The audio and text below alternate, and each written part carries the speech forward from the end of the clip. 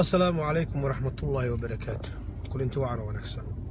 Ummadda soomaaliyeed ee runtii aada u murugaysan oo aada u dhibaataysan dareenkeenii waa la qiibsanaynaa wixii ku dhacay musiibadii ku habsatay dhibaatadii loo geystay. Run ahaantii waan la qiibsanaynaa waan la murugoonaynaa waan la tiireeyeysanahay runtii dadkii meesha iyadaa naftoodii ku waayey allah u naxariisto inta dhimatay waxaa laga maarmaan ah inaan sheegno. Waxaa laga maarmaan ah wixii aan soo ogaanay. Markaan yacnii muxuu ahaa baaris dheer aan samaynay musiibadii dhacday. Waa laga maarmaan inaanan qarinin ruuxii dhibaatadan geystay. Yacnii muxuu ahaa wuxuu ahaa iyo wuxuu ka shaqayn jiray iyo cidduu ahaa inaan ummadda soomaaliyeed aan u caddayno xaq baanu leenahay cid aan ugu hebaysanayn haba yaraatee malahan qaraxan waxaa sameeyey nin soomaali ah magac soomaali wato oo reer muqdisho ah oo hadduu ilaahay ku roon yahay wakhtiyadii dambe hadda la joogay wuxuu ku noolaa magaalada hargeysa. Hargeysa ayuu ku noolaa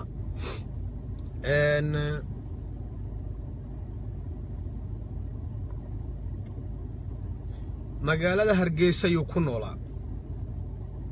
Laba xaas buu lahaa. Labadiisa xaas waxay ku nool yihiin magaalada hargeysa. Ninkan saacid baa la yidhaahdaa. Ninkan naftihalligaha ah ummaddan laayay wuxuu ahaa waagiisii hore al-shabaab ayuu ahaa uu kana soo goostay waxaa soo dhoweeyey abbaanduulihii wakhtigii sheekh shariif ciidamada xoogga dalka soomaaliyeed la dhihi jiray geelaruush ninkii la dhihi jiray qofkii yaqaan wuu yaqaanaa. Geelaruush waa nin habar gidiroo sacad ah oo reer hilowle ah oo la yaqaano ayaa ayaa soo dhoweeyey ninkan waagiisii hore markuu ka soo goostay al-shabaab. Asagaa soo dhoweeyey asagaa yacnii muxuu ahaa xil u dhiibtay. In badanoo ka mid ah saraakiishii asaga la shaqayn jiray hadalladii uu dhihi jiray waxaa ka mid ahaa waddankan haddaan kitaabka ilaahay lagu xukumin horumar ma gaaraayo. Waddankan haddaan kitaabka ilaahay lagu xukumin horumar ma gaaraayo. Saraakiishii uu la shaqayn jiray baan ilaa halay wada hadlaynay. Waxay ii sheegeen mar walba wuxuu rabay inuu annaka nagu shahiido war annaga kitaabka noo dhimin muxuu yahay buu yidhi ninkii sarkaalka ah halay aan wada hadlaynay. War annaga muslim baan nahay waa tukunnaa waa soonnaa waa salaadnaa. Yacnii dalkeennii baan heegan ugu jirnaa inaan dadkiisii aan badbaadino. Wuxuu dhihi jiray waddankan haddaan kitaabka lagu xukumin. Ninkan hooyadiis waa isaaq. Hooyadiis waa somalilander maamulkan somaliland ayuu ka soo jeedaa. Hooyadiis waa isaaq labadiisa xaas waxay joogaan magaalada hargeysay joogaan. In badan oo ka mid ah markii ninkaas banduulaha xilka laga qaaday wuxuu u wareegey magaalada hargeysa ayuu u wareegey waa nin yacnii muxuu ahaa beesha bargidir ah oo sacad ah oo reer hilowla ah waxaa la yidhahdaa saacidaa la yidhahdaa. Yaa qofkii aan ogaynow ha ogaado. Sababtoo ah inaan wax qarinno nagama suurtowdo annaga waa sheegaynaa wixii shalay meesha ka dhacay baa wax walba ka weyn. Inaan caddayno xaq waay musiibadii shalay meesha ka dhacday mid la qarin kara ma ahan. Garaashka laga soo diyaariyeyna horey baan idinkugu sheegay garaashkii oo saybiyaana garaash ku yaallo oo ismaan caato lahaa ayaa lagu soo diyaariyey qaraxa ma garat yaan meelaha lagu mermeeraysiin waxaa layidhi nashuus intay ku nabto ayay nebiga kaaga hormartaa.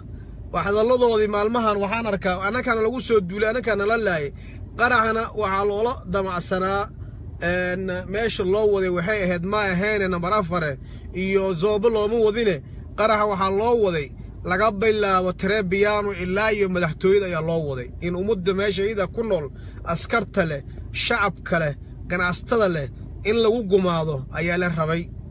Laakiin wakhtigii oo la gaarin baa qaraxii dee wakhtigii waa ku simi waayey.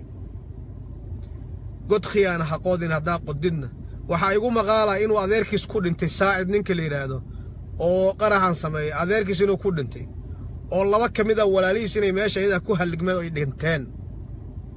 Ma garat inay meesha ku dhinteen baan idin sheegayaa. Khasaarihii meeshii lala rabay meelaan ahayn buu ku dhacay. Xaruntii beeshii buu ku dhacay. Beeshii haldoorkeedii baa meesha ku dhintay. Kuma faraxsanin runtii. Kuma faraxsanin. Wallaahi oo bilaahi tallaahi inaanan ku faraxsaneen. Yaa aniga kuma faraxsanin ma fahamta warkaygi sababtoo ah soomaali dilkeedii ma aha midaan ku farxi karo. Damiirtayda ima siinayso dadka dhintay inaan ku farxo. Laakiin waxaan idiin sheegayaa meesha khasaaraha ka dhacay waxaa waaye waxaa u badan ninka dhibka geystay qaraabadiisii baa u badan. Haddana waxay suuqu soo geliyeen qaraha dawladdaa ka dambaysay in annaka nala laayaa la rabaa xalay nin baan la hadlay oo runtii saaxiibbo aan nahay oo beesha ah ayaan la hadlay. Wuxuu ii sheegay qaraxa annakana loola dan lahaa annakaa la rabay war qarax meeshiisii buu gaari waayey meeshii aad la rabteen buu gaari waayey. Ma garat qaraxa meeshii aad la rabteen wuu gaari waayey laakiin aad iyo aad baan ugu xumahay aad iyo aad baan ugu xumahay aad iyo aad baan ugu xumahay beeshu waxaan leeyahay haddii fiqii hadalkiisi iyo mahad salaad aad fulinaysaan adeer yeelow meesha ayadaa idinkama jirto.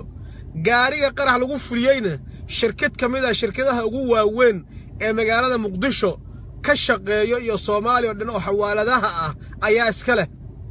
Shirkadaha shirkad ka mid ah leh gaariga qarax lagu fuliyey. Waxaana iska leh ninka qaraxa fuliyey seedigiisii baa gaariga leh.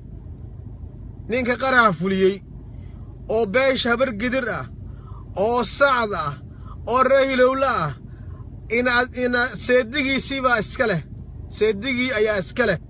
Ma garat gaariga shirkadda yani muxuu ahaa shirkaddaas ayuu u shaqeeyaa ninka gaariga iska leh shirkadda daabshiil ayuu u shaqeeyaa. Afkeen inaan ka qarino xaq umaba lihinba ma garat ma dhihi karno anaka yani muxuu aha shirkaddaa ka dambaysay laakiin gaariga in meesha iyada ah laga leeyahay baan caddaynaynaa waxaan qarinayna ma lahaba yaraatee walaalayaal marka. Inta dhiminta allah u naxariisto.